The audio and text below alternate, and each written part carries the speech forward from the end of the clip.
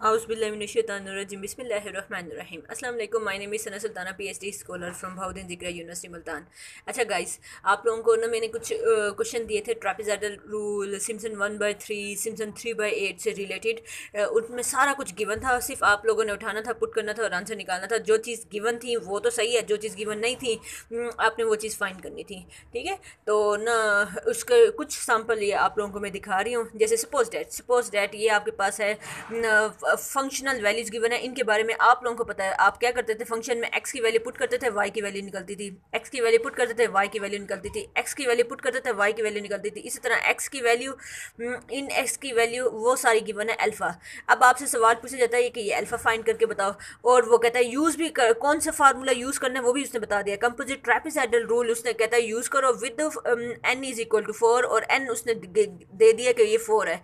Gives values और वो कहता है एन में फाइनल आंसर जब हम ट्रेपेजाइडल रूल लगाते हैं तो फाइनल आंसर निकलता है वन पॉइंट सेवन फाइव ये फॉर दिस एक्सप्रेशन अच्छा अब आप सबसे पहले क्या करो? सबसे पहले सबसे छोटी वैल्यू इधर कौन सी है?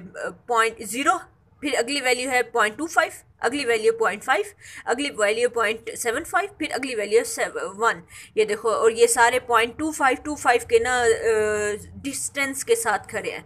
एक्स और फंक्शनल वैल्यूज़ भी उनकी जो गिवन है वो पुट कर दी अकॉर्डिंगली अब आई जो आपका इंटीग्रेशन होता है वन ए टू बी ये गिवन है, इसकी वैल्यू भी गिवन है। मतलब आई भी आपके पास गिवन है वन पॉइंट सेवन फाइव अच्छा चलो ठीक है। अब कंपोजिट ट्रेपेजाइडल रूल का फार्मूला आप लोगों को पता है वो क्या होता है? फ़र्स्ट वैल्यू और लास्ट वैल्यू छोड़ की फंक्शनल वैल्यू अलग होती हैं, इन दोनों का सम होता है और फिर अंदर दरमियान की जितनी वैल्यूज़ होती हैं, उनको टू से मल्टीप्लाई करता है। इसका मतलब है फ़र्स्ट वैल्यू ये है, ये आपका जो ये आपके पास ए है और इससे हासिल होने वाली जो फ़ंक्शन वैल्यू है, वो एफ़ ऑफ़ ए है।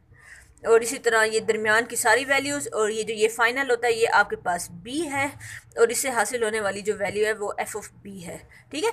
अच्छा चलो, अब ये स्टार्टिंग ये इन दोनों को ऐड करेंगे, बाकी दरमियान की जितनी वैल्यूज़ हैं, उनकी फ़ंक्शन वैल्यूज़ को ऐड करके टू से मल्टीप्लाई करना है। ये देखो, ये काम हो रहा है। अच्छा अब इसमें एक और चीज़, यहाँ पर आपको नज़र आ रहा है एच एच कैसे एच का फार्मूला आपके पास है B minus A over N N भी सवाल में गिवन है। फोर बी भी आपको सवाल में गिवन है। वन।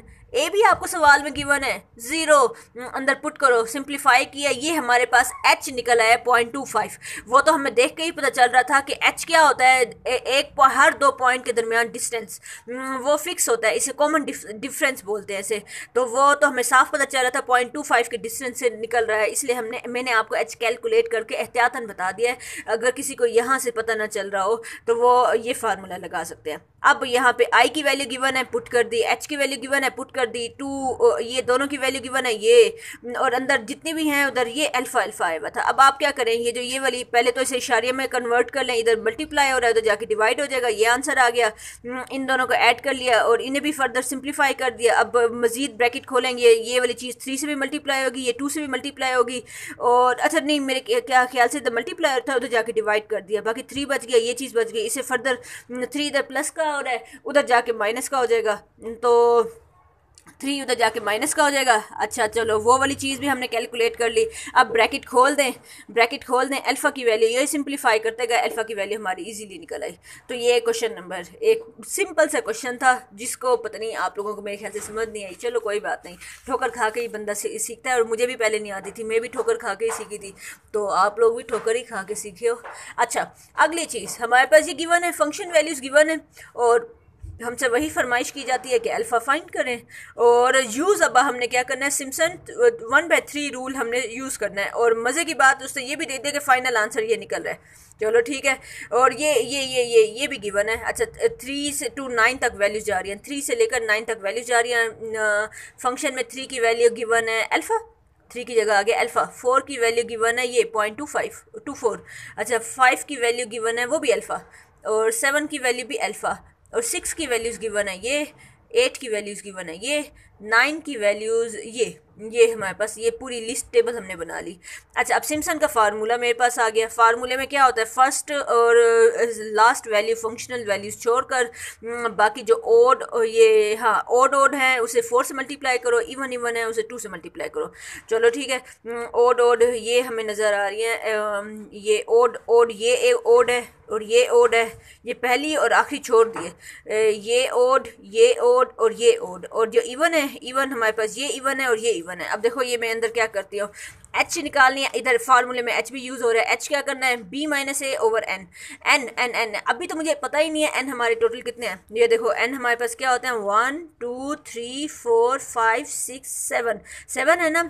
ये देखो एक्स ज़ीरो की value X one X two X three X four X five X six तो एन हमारे पास सिक्स होगा।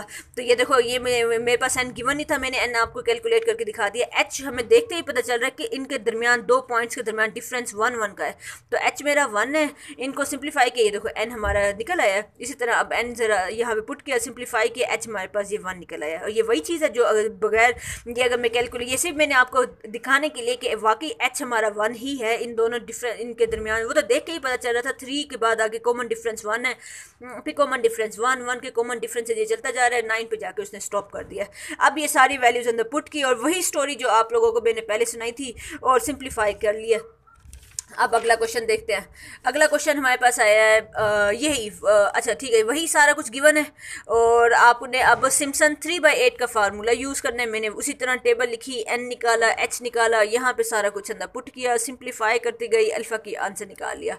तो इस तरह से आप लोगों ने ये सारे क्वेश्चन सॉल्व करने हैं। फिर भी अगर आप लोगों को कोई मसला हो तो आप लोग मुझे बताइएगा, तब तक अपनी दुआ में याद रखिएगा। अल्लाह हाफिज़।